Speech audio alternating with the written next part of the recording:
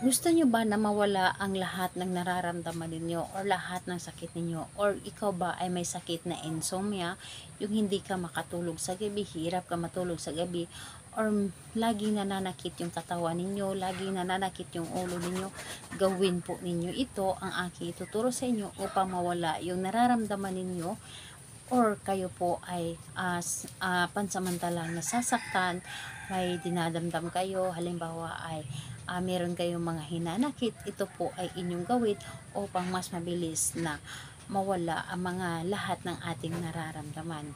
Gawin natin ito gamit ang isang itlog. So, hello mga guys, kumusta kayo? Panibagong araw, panibagong video na naman tayo.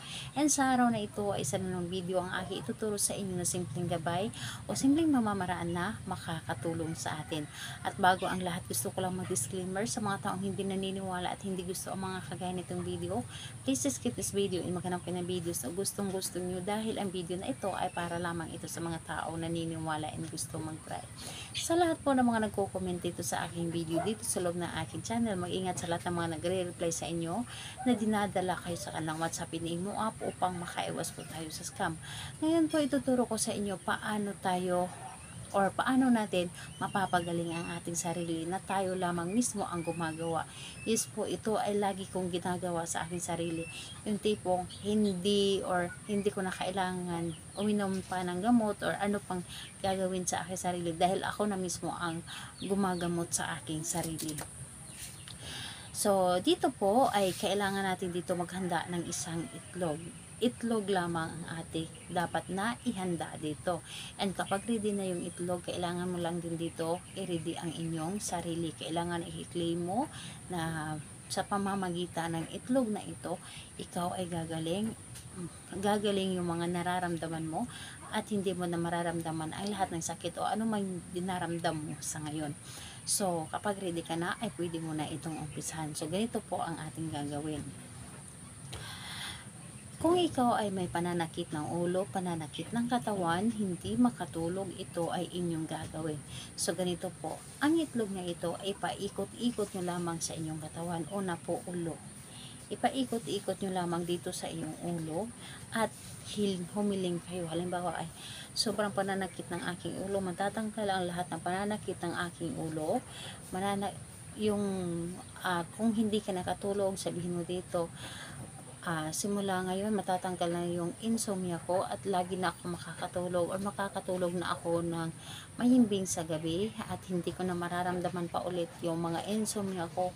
Hindi ko na mararamdaman ulit pa ang sakit ng ulo ko pananakit ng katawan ko sakit or yung mga hinanakit mo matatanggal yung lahat mga hinanakit ko.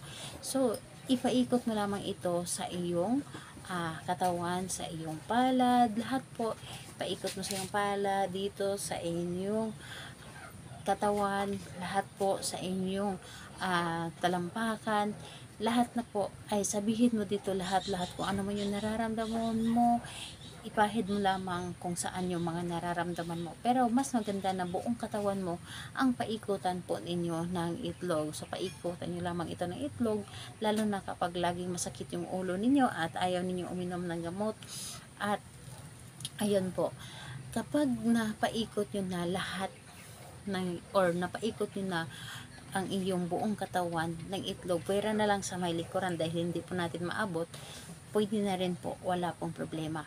As long na hiniling po ninyo dito sa itlog ang inyong mga uh, hinanaing or mga uh, sakit na nararamdaman mo lalo na yung nasa abroad. Yes po dahil sa mga sa abroad kasi is, hindi tayo pwedeng magpamassage dahil walang nagmamassage. So galingin natin ang ating sarili gamit ang itlog or yung hirap makatulog dahil sa insomnia, ito po ay inyong gawin. And ayun po, pagkatapos mo itong uh, paikot-ikutin ang itlog sa iyong katawan, kumuha kayo ng tubig or yung clear na baso. Kumuha kayo ng clear na baso, lagyan ito ng tubig ng kalahating baso. At ang itlog na ito, basagin po ninyo at ilagay doon sa tubig. At makikita po ninyo, nandoon yung mga nararamdaman ninyo.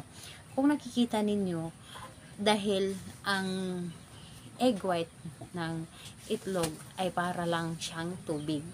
Para lang tubig ang egg white At iba din po ang egg yolk.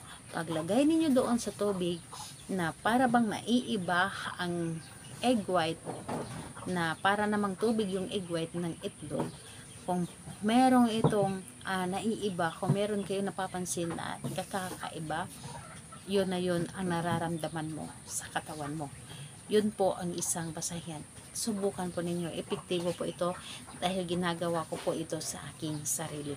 So, yun po. Dapat ay gawin lamang natin ito sa araw ng biyernes at martes. So, biyernes at martes lamang ang paggawa nito. Huwag ninyo itong gawin sa ibang araw. Kahit anong oras naman sa biyernes at martes, wala akong problema. Basta gawin po ito ni- ninyo ng Tuesday and Friday po. So, kung magtatanong ka ano ang gagawin ninyo sa itlog na nilagay sa baso, itapon ninyo. Pwede po ninyo i-flash doon sa CR. And ang purpose ko po na ilagay muna siya sa baso para makita ninyo doon na merong kakaiba sa itlog na inyong ginawa or ginamit sa pag ah, ritual ninyo sa inyong katawan. So, ayun po, subukan po ninyo. Sobrang epektibo po ito. Salamat po sa inyo. Bye-bye everyone. God bless us all.